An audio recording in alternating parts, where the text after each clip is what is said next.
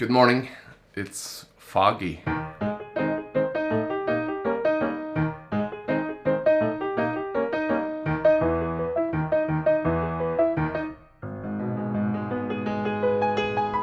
Okay, it's Friday, so now I was thinking to do the outro to the song.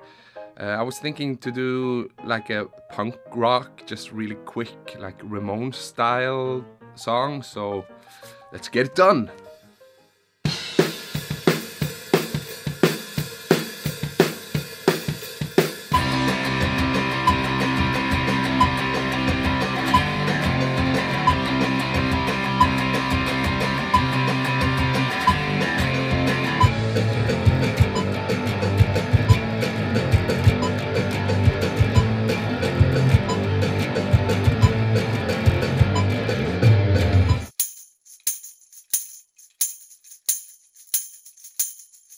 I wanna run through the hills and look at your stuff on YouTube. I have a Patreon site where you can get all the songs in an instant download.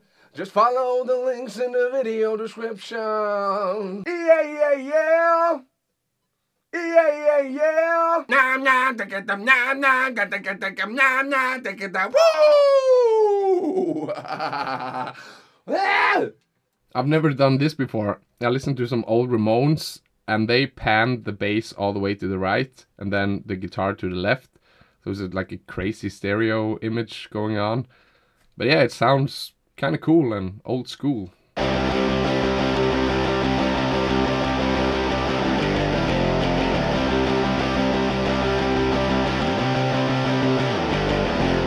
The outro is finished. I tried to make it sound as dirty and old school as possible. I used this plugin that I saw Fluff uh, recommended uh, online. It costs like 10, 20 bucks or something. It's called DAW Cassette from Clave Grand.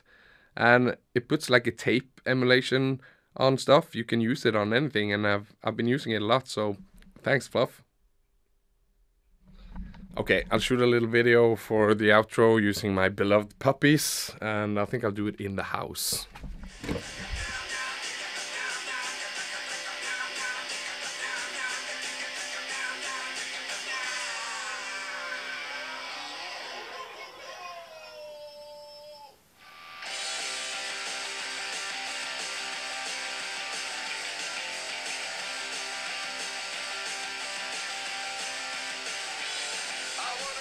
Yeah, I don't know. Hopefully it works.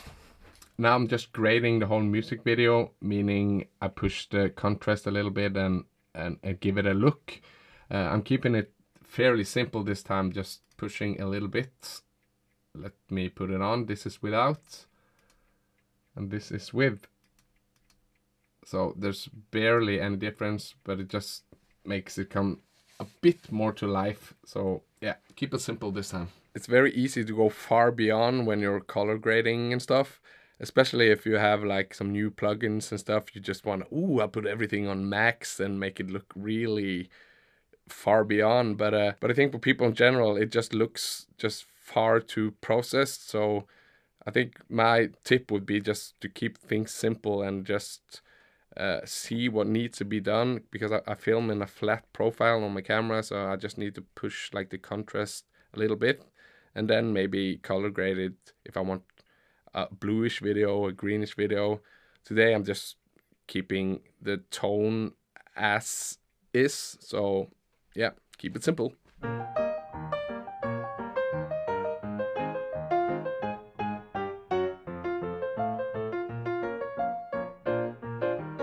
I think the video is finished. I tend to put on an effect called camera shake from uh, Red Giant on especially choruses and breakdowns and stuff and it makes the image just shake a little bit. Because when I always film myself the camera is always static on a stand or something so it looks kind of uh, uh, boring in a way so I put this effect on afterwards to uh, make it seem like the camera is shaking or someone is hand holding it.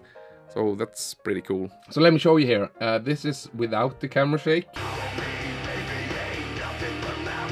So I'll put it on now and I'll just push it to the max just to show you how it works. I generally just put it on like uh, maybe five or ten of a hundred percent. So it's it's not that much because you can go overboard. I like that effect.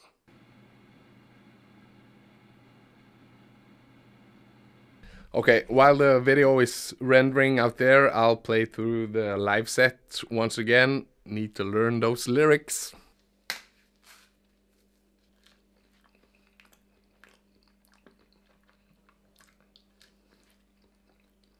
Banana break. And now I'm gonna upload the video to YouTube and make a thumbnail for it, and then I should be really close. My internet is freaking fast. I love it.